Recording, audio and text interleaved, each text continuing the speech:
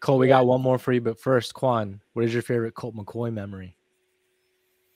Oh man, like you said, we have so many times. It was uh really I, I for me actually I grew up in a small town, so there's two of them. One, it was driving to Waco, his now amazing wife, oh, yeah. and dropping him off in Baylor because she's a Baylor girl, and uh, my little daughter and hanging out. That was always cool because now that they have four kiddos, phenomenal family. That is off the field. Uh, that, that was pretty pretty fun and talking ball and, and getting on the same page.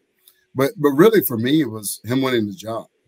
I mean, Colt's mm. humble about it, but it wasn't. I mean, he was up against a five star dude who had every fraction of the tools of a five star dude, but he worked his butt off to win the job, and and and the rest is history. So it, it was all way all the way back. And then I came back the second time in the same class, Lamar, all the above. So yeah, I, th- those are easy for me. The football piece of it, we worked hard enough, and that was that was that was icing on the cake. But, yeah, that's uh, right. The, the, the rest of it was uh, really what it was about.